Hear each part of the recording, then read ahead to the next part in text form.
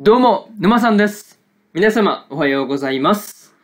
今回はですね、精霊幻想記の第7話の感想ですね。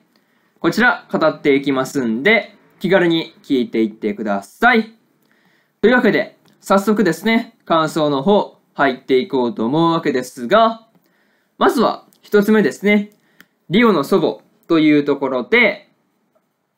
八雲地方までね、やってきたリオが、まあ、こう、とある村の村長をしている湯葉にあっていたわけなんですが、まあ、こう、まさかね、その湯葉がですね、まあ、リオの父方の祖母だったっていう話ですね。まあ、これに関しては予想外だったなっていう話ですよね。そう。まあ、結構びっくりしたなっていう話だったんですが、まあ、でもね、こう、まあ、八雲地方まで来て、やっとね、こう、両親のことを知っているっていう人物に出会えたのはですね、まあ、こう、リオもですね、わざわざこう、八雲地方まで旅をしてきた甲斐があったっていうもんですよね。そう。なんかそういう、その甲斐があったなっていう話が、まあこう、まあ今回のね、まあこう、最初の方からあったわけなんですが、まあしかもね、こう、顔が広いって言われていた、まあこう、祖母の湯葉のおかげもあってかですね、まあこう、リオもだいぶとこう、村に馴染みやすくね、まあなっているっていうところっすよね。そう、まあ、現にこうめちゃめちゃ馴染んでいたわけだったんですが、なんかね、そういうところを見て、まあこう拒絶とかね、されることなく受け入れられたっていうのは、本当に一安心といったところではありました。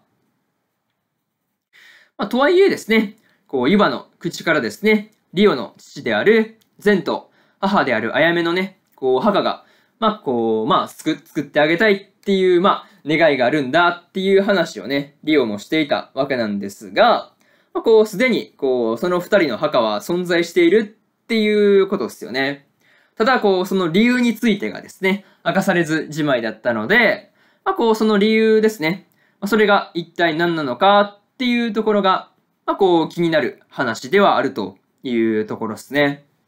まあ、そういうところで、えー、まず、一つ目の感想である、リオの祖母というところ、終わっておきます。で、次、村での生活というところに入っていくんですが、リオがですね、こう、村での生活を満喫していたわけなんですが、まあ、こう、まあ、王国にね、いた時とかに比べればですね、リオもだいぶとこう、馴染みやすそうな感じだったんで、まあ、こう、なんかどっちかというと、あの、精霊の民の外の時のね、こう、まあ、穏やかな生活に近いのかなっっていうところで、まあ、こう、安心したというところではありました。まあ、何よりですね、こう、村での生活がですね、とにかく平和な感じがあったんですが、まあ、こう、リオがですね、まあ、こう、サヨ以外の、こう、村の、まあ、サヨからもまあ、モテていたわけなんですが、まあ、こう、他の、こう、村の女性陣からもですね、まあ、こう、モテモテであるっていうところもですね、なかなか見ていて微笑ましいなっていうところではありました。あとね、こう、サヨの兄であるシンたちと彼にも言っていたわけなんですが、まあ、こう、そこでのね、リオの弓の腕前ですね。なかなかこれもすごくてですね、結構びっくりしてしまったなっていう話でしたね。そう。いや、ほんとすごかったっすよね。なんかこう、バシバシ仕留めてってるのがよく分かったんですが、まあ、それだけじゃなくてですね、こう、まあ、フローとかね、こう、あれを精霊術でこう作ってしまったっていうところっすよね。なんかそういうところも含めてね、本当にすごかったなっていう話でした。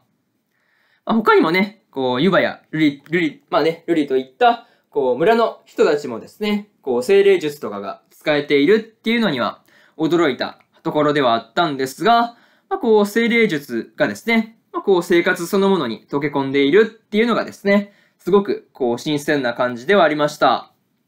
まあね、そういうところで、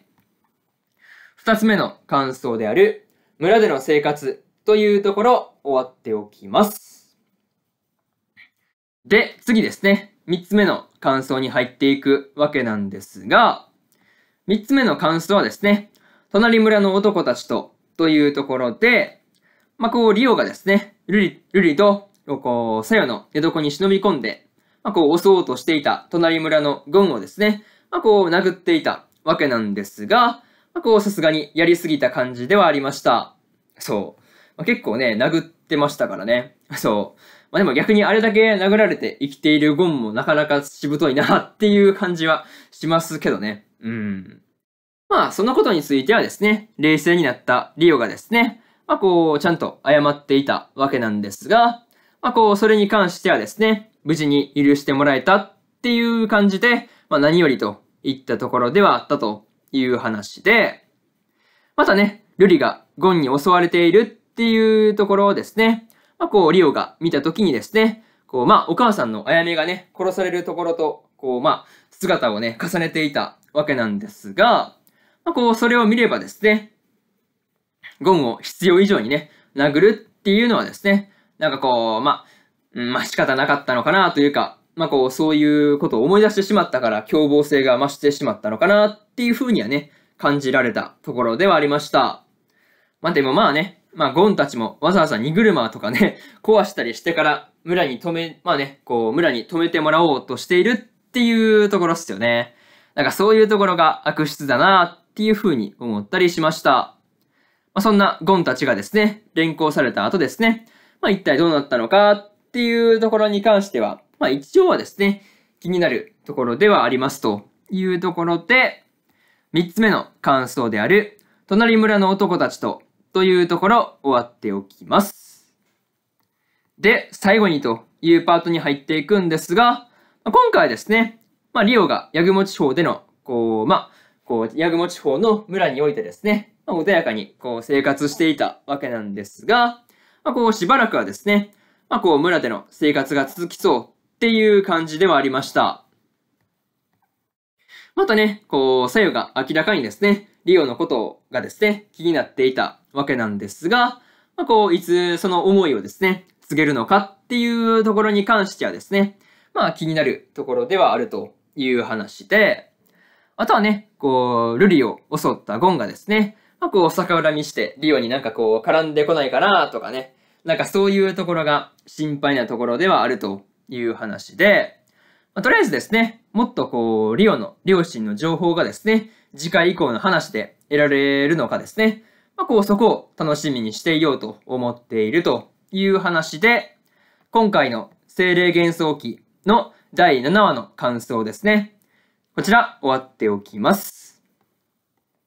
でですね、今までにも第1話から第6話の感想をですね、それぞれ過去の放送でですね、えー、語ってますんで、よかったら過去の放送もですね、合わせて聞いてみてくださいというところと、今日はね、他にも2本更新しておりまして、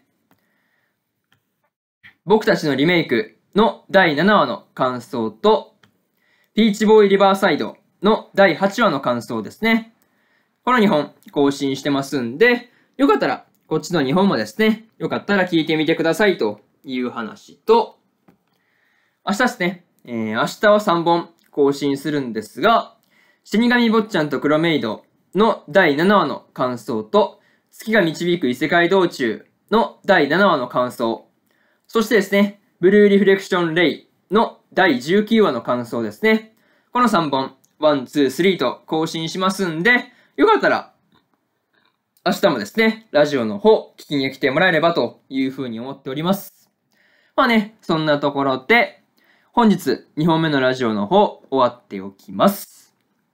以上、沼さんでした。それでは次回の放送でお会いしましょう。それじゃあまたね。バイバイ。